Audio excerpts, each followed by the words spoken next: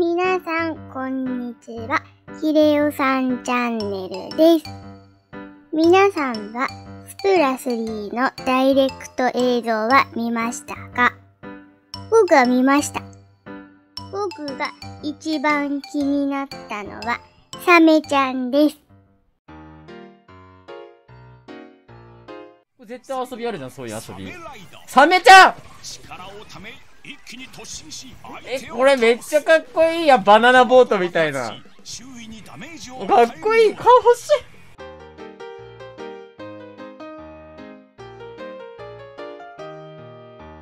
僕はサメに乗りたかったので、サメの絵を描きました。